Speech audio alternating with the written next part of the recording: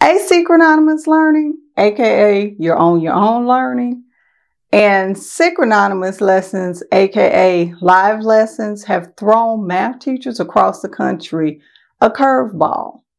And in today's video, I'm going to show you how I set up my virtual classroom and platforms for both of these types of learning.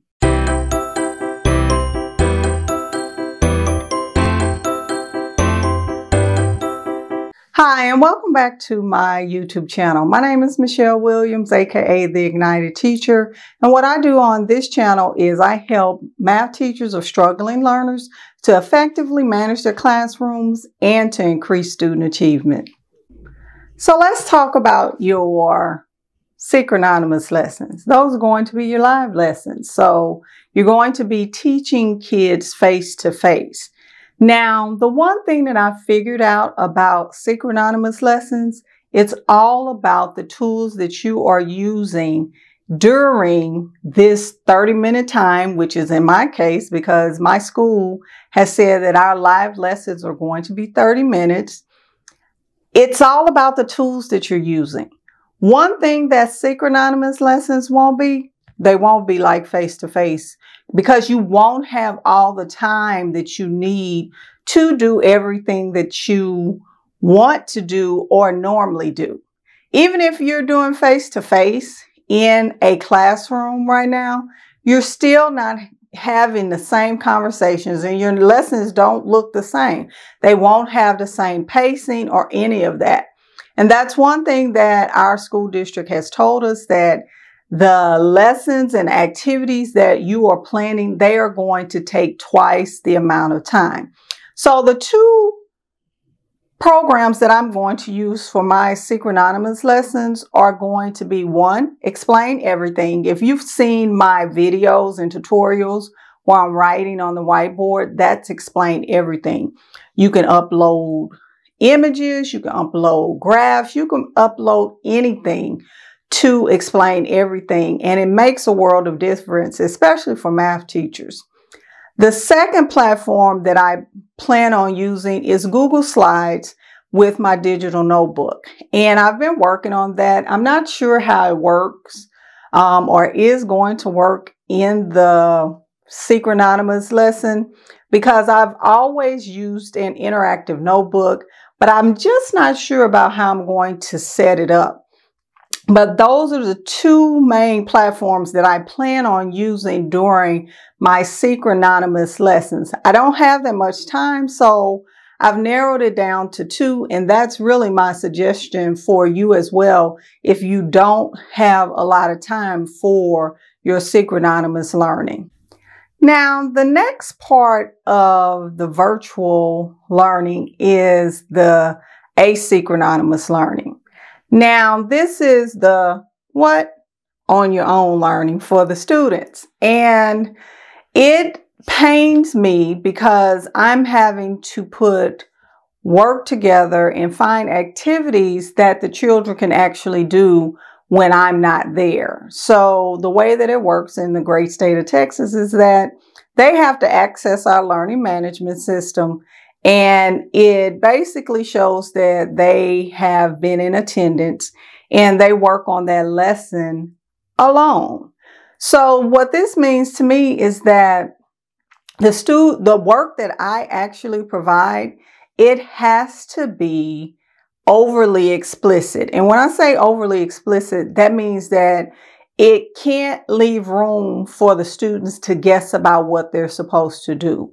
Now, I have come to the conclusion that I'm going to have to do videos for my asynchronous instruction because as you all know, I teach the math intervention students, which are tier two and tier three students, which a lot of them are double dippers and they struggle with reading and math.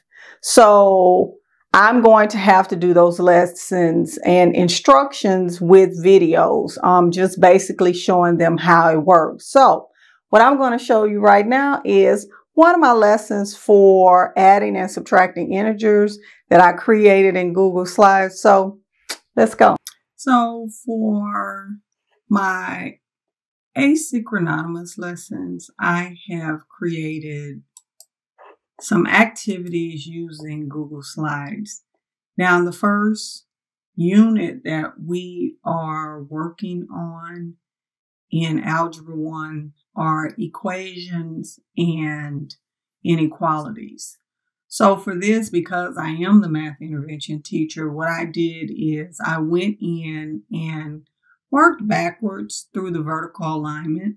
And this was actually on the fluency side of it. And my students have to know and understand positive and negative integers.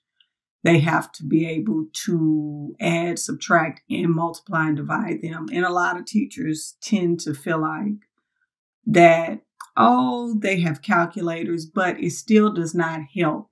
The children have to understand the concept of it.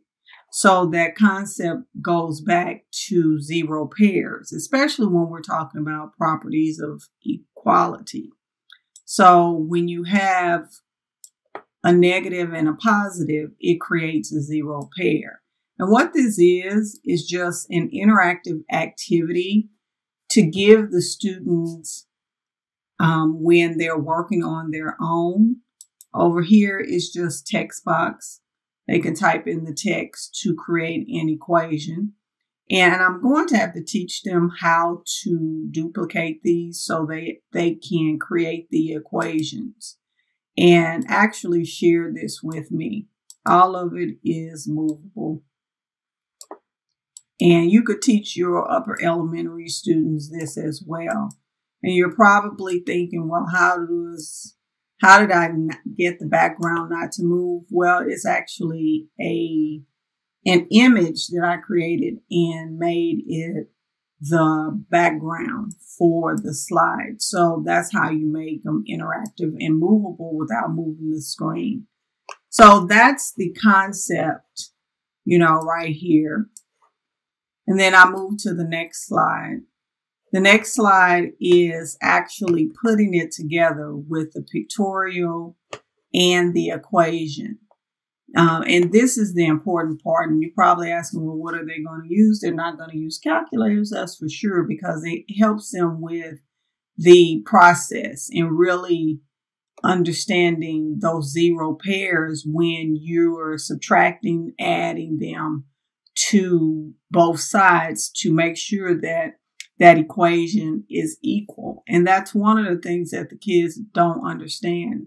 Um, and it pains me because uh, Algebra 1 teachers tend to think that the graphing calculator is the cure for all, and it's not. I've seen children go in and have graphing calculators and not know what the heck they're putting in there and then wonder why they come up with the wrong answer. It's just not that simple. You have to understand the concept. Now, you might not be fluent with it, but if you understand that you have a negative, two negatives, and two positives, and they cancel each other out, then you can put that in the calculator and understand, even if you don't know how to subtract it. That's what I'm going for with my kids because they do have some disabilities. And some of them, you know, it's hard for them with the fluency piece, but they have to understand that concept. So this is just one of the activities that I'm working with with asynchronous and this is going to be something that I probably will use after we're out of virtual learning. I really like it. It takes time, but as with technology, once it's done, it's done. And these are priceless. I really do believe. Um, my kids are going to like these and is going to make sense to them. So if you found this video helpful, definitely give it a like. And if you have not subscribed to my YouTube channel, go ahead and subscribe and hit that bell notification so that you can be notified when I upload other videos just like the one you saw. Thank you for joining me today and I'll see you in my next video.